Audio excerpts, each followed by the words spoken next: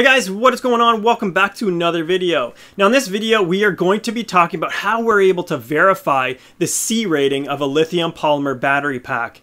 Now there's two reasons that you may want to do this. One is you just purchased that brand new battery pack, you got a 50C pack, but you got it for such a great deal. Now you're wondering if it wasn't just some marketing team who slapped on an arbitrary 50C number to the front so that you'd pick it up thinking you just got a great deal. Or you may have had this lithium polymer battery pack for such a long time, let's say two years. You thought it was operating great in that first year, but now you think that the performance of that battery pack might not be as good as it once was. Now you want to verify that C rating. It is true, over time, the C rating of a battery pack can actually degrade. What we try and do is we try and maintain the battery pack as best as we can so that we avoid running into any sort of premature wear of the battery pack. Now before we get too far into this video, I want to review a little bit very quickly as to what the C rating actually represents and how we actually determine what we need to determine out of it, which is the discharge current. What we're primarily interested in is continuous rated values. We're never interested on this channel in peak values. Peak values are very arbitrary and they don't really tell us much about the system at all.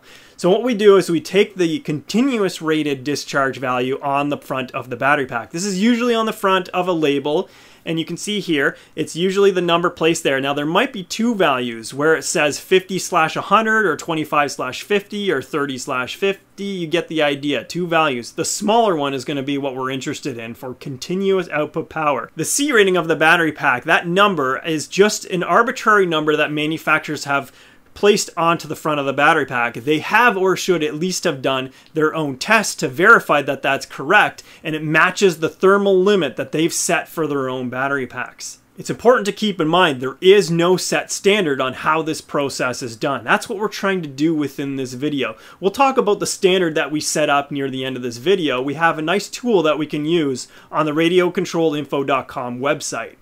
To calculate the C rating, what you need to first know about your battery pack is the capacity of it. You take that from right off the front of the battery pack. Let's say you have a 5000 milliamp hour battery pack with a rating of 50C. First thing that you need to do is take that 5000 milliamp hour and you have to go ahead and divide it by a thousand to convert it into just amp hour. That leaves you with a 5 amp hour battery pack. Now you take the 5 and you multiply it by the 50 and that's going to represent the maximum continuous discharge current that you can get out of that battery pack. In this case it would be 250 amps. Now that we have that out of the way, let's talk about ways that we're able to identify the C rating of the battery pack. One of the first ways that you'd be able to do that, and it's not necessarily one that I would recommend, I would certainly expect that manufacturers would be doing this, the manufacturers of the lithium polymer battery packs, or at least a certain variation of this particular test.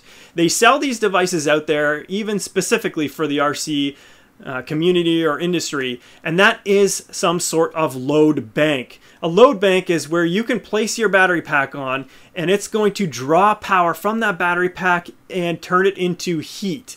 So it's going to make a lot of heat. And what you want to do is you want to start off with a 100% fully charged battery pack and you want to discharge it all the way down to 20%. Now what we need to do also is configure that load bank to discharge at the rate of the continuous rated spec on that battery pack.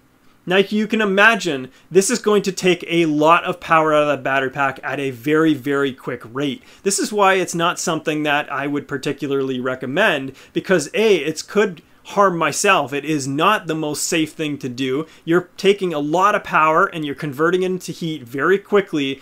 And the biggest thing is you don't even know if the battery pack can actually sustain it. That's what you're actually testing. If it doesn't sustain it and you forget to shut it off in the time that it's actually discharging, you could have a problem. Uh, the other reason is is because it is putting a lot of stress on that battery pack, and I don't want to do that to any of my battery packs. Now, one of the things that you want to do if you are going ahead and pursuing this is you want to be careful, but in addition to that, you want to go ahead and measure the temperature right through the entire sweep of that from 100% to fully discharged. And what you're looking for is for that battery pack not to exceed the temperature, the maximum temperature that the manufacturer has specified for that pack. If there is no maximum recommended temperature for that pack, you want to use 60 degrees Celsius or 140 degrees Fahrenheit.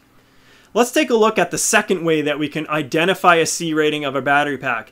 Now this one is a little bit more simple, however it's also complex at the same time. So let's explain. What we can also do is take the internal resistance measurement for all the cells within our battery pack. We can average them so we get the average cell internal resistance. That resistance is going to be in the form of milliohms. Now the complex part comes from how you are able to compare that value to what's out there. There's two ways that you can do this. You can either find on a forum or some other place what the expected internal resistance should be for a particular C rating of a battery pack. You can compare your value up against that value. Now what would be even better is if you have the same C rated battery pack that you would be able to compare up against. It does not need to be the same manufacturer or model or any of that. It just needs to have the same C rating. Let's say that you had a 5000 milliamp hour battery pack with a rating of 50C in the past, and you also have a new one today. What you'd be able to do is compare the internal resistance of your pack today against the pack that you've had in the past. Let's say that pack that you had in the past had an internal resistance of 2 milliohms However, your pack has a resistance of 3.5 milliohms. You'd be able to determine that your pack today is not going to perform as well as that pack that you had before. So whether the 50C rating is right or wrong, it doesn't matter because the performance that you're going to get out of that pack is not as good as the performance that you had out of that pack historically. Now let's move on to what I think is the easiest way that we could do this. What we will need to identify is a few items. In order to do this, you'll have to hop onto the radiocontrolinfo.com website. We have a spot there and we'll show it very soon. We'll, we'll get to that, where you want to go ahead and input a bunch of values. In order to get these values, one of the values will have to be measured. The other two values can be taken right off the label of your battery pack. What you will need is the capacity in milliamp hour of your battery pack, the internal resistance on average per cell of that battery pack measured specifically in milliohms. The calculator does not accept just an ohm value, it has to be milliohms. And you'll also need what the label says your SPECT C rating is. Now, one of the first things we'll have to do is establish a standard for the resistance component that we go ahead and input into the calculator. This is where the most amount of error could occur within the calculation. What you'll want to do is follow this specific procedure. In order to capture the internal resistance, you will want to make sure that you're charging the battery pack at room temperature. Let's say 22 degrees Celsius or 72 degrees Fahrenheit.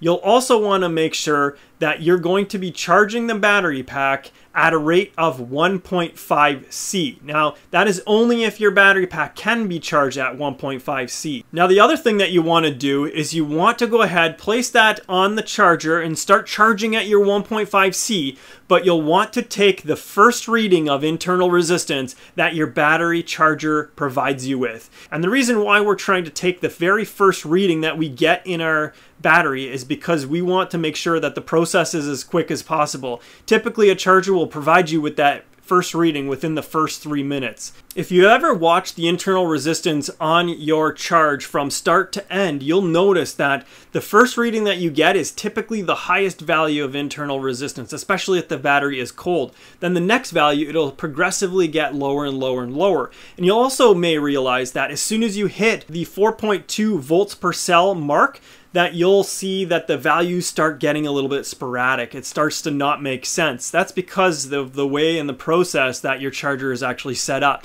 What you'll want to do is you want to start charging that battery pack somewhere between 20 and 40% of its charged capacity. Now that we've gotten that all out of the way, we're going to go ahead and test a battery pack. We're going to find out what the internal resistance is. We're going to add up all the internal resistances per cell to a total and we're going to divide it by how many cells that we get so that we get the average. We're only looking for the average internal resistance of a cell within the pack. So let's go ahead and jump over to the computer. Here we are at the radiocontrolinfo.com website. First thing we need to do is hover over the information tab, hover over RC General Calculators, and select the LiPo C rating calculator. Once we have that selected, we'll arrive at the page where we have a few entries to make. The first entry we must make is for the battery capacity. This will be measured in milliamp hour and comes right off the label of your battery pack. The next item we have to insert is the average cell's internal resistance of the LiPo battery pack. This value is going to be measured in milliohms, and that is important. Make sure you enter the value in milliohms and not just ohms. Ohms is going to look like a very small number, and it should be something larger than this. The next item that we have to enter is the battery pack's rated C rating, and you can place that into this field. Once that's done, you click calculate. You'll notice below you'll have a bunch of instructions should you want more details as to what you do. There's also the average internal resistance of the LiPo. Goes into detail to explain exactly that. So let's start off by looking at our first LiPo battery pack, which has a capacity of 2200 and a C rating of 35C.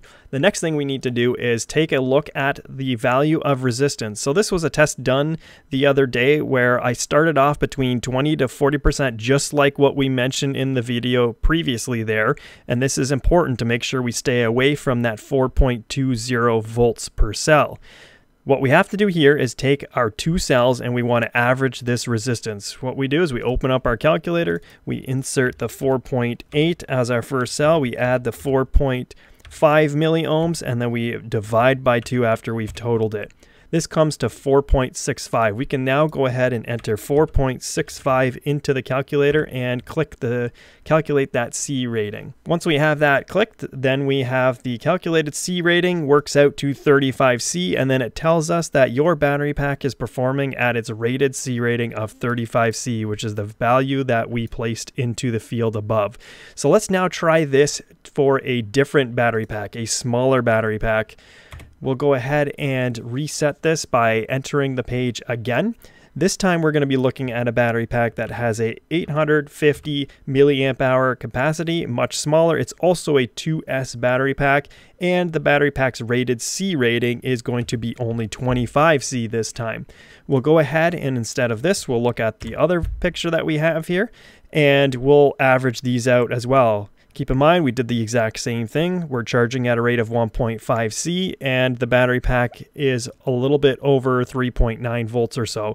Now let's average out our values here. We have an internal resistance on cell number one of 20.7, and we'll add that to the 19.9 and then we'll total it, divide it by 2, and we enter 20.3 into this field right here. Once we have that done, we click calculate that C rating for it to then go ahead and process that information. So the calculated C rating for this particular battery pack is 25C and our battery pack is performing at its rated C rating much like what we had before. If we were to try another one and we'll make a value up just to see what kind of results we get, we go ahead and we enter 5000 milliamp hour. We're going to go for something aggressive like a 65C and we're going to enter a value of resistance of 2.8 uh, milliohms. And that's going to be the average cell resistance for our 65C rated pack. We go ahead and calculate that C rating and we're going to get a different value. The calculated C rating in this case is 25C, and it says here that your battery pack is performing worse than its C rating of 65C. And if we did the exact opposite, where we gave this a very good internal resistance, we would see that it would provide us with a different message here. 5000 milliamp hour pack with a 0.8 milliohm resistance there per cell is going to give us a value for the C rating above 65. The limit for this calculator is between 20 and 65. There's no data yet in the database above and below those two values. Once there's more data added to the database, this will then open up. Hey guys, I hope you were able to get something out of today's video. Please like the video if you do, and don't forget to hit that subscribe button so that I can see you in that next video. Thanks for watching. See you next Monday.